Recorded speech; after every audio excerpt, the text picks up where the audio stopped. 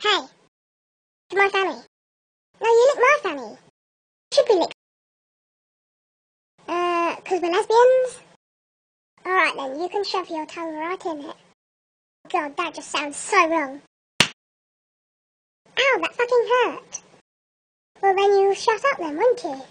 Get away from me, you dirty lesbian perv.